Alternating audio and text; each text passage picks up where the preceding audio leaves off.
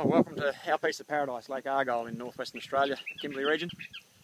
We've had a fair few people asking questions about diving on Lake Argyle. As you can see, it's like an Indian Ocean out there. The uh, water's absolutely beautiful this time of the year, fresh blue water. And uh, quite often you can go out beyond these hills diving in the old Argyle Homestead Museum. And um, also in the local bay, there's some areas where diving amongst the, just a black bream and the uh, large silver cobbler amongst the freshwater weeds just in here in Coolabah Pocket is just spectacular through the winter months when the water's so clear. Uh, a few other people also asking where exactly is Lake Argyle?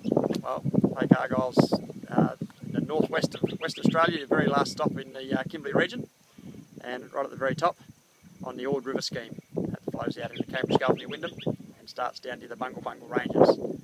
And obviously we call this top dam because it's the, the best part of the Ord, Lake Argyle. Uh, there it is.